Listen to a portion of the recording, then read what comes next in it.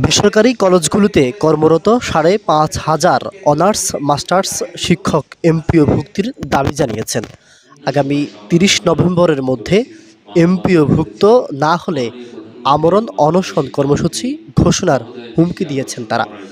আগামী তিরিশ নভেম্বর দুই হাজার বাইশ তারিখের মধ্যে এই সাড়ে পাঁচ হাজার অনার্স মাস্টার শিক্ষকদের এমপিও মুক্তির সুস্পষ্ট ঘোষণা যদি দেওয়া না হয়, সেক্ষেত্রে আমরা আমরণ অনশনের পথ কঠোর আন্দোলনে যেতে বাধ্য হব।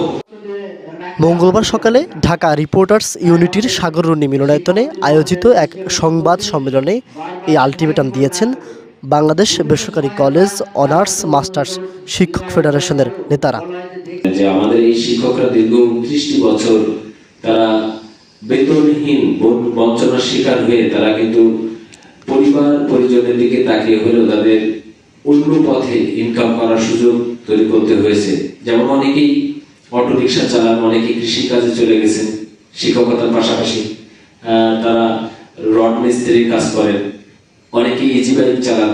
এগুলো একজন শিক্ষক হিসেবে কতটা সমীচীন হয় জানি না, কিন্তু পেটের তাগিদে কিন্তু তারা এই কাজগুলো করতে বাধ্য হয়। আপনারা জানেন যে বেসরকারি শিক্ষা প্রতিষ্ঠানে এসএসসি এইচএসসি ইন্টারমিডিয়েট ডিগ্রি এবং মাদ্রাসায় ফাজিল কামেল পর্যন্ত এমপিভুক্ত বা সরকারি বেতন ভাতা পেয়ে থাকে। কিন্তু এই অনার্স শিক্ষক এই স্তরটা আমাদের এমপিও নীতিমালা বা জনবল কাঠামোই নাই। যার কারণে আমাদেরকে দীর্ঘদিন যাবৎ সরকারি এবং জাতীয় বিশ্ববিদ্যালয়ের বিধি মোতাবেক নিয়োগপ্রাপ্ত হয়েও আমাদেরকে ইউপিএ বঞ্চিত করা হচ্ছে সংবাদ সম্মেলনে সংগঠনের অন্যান্য নেতারা উপস্থিত ছিলেন।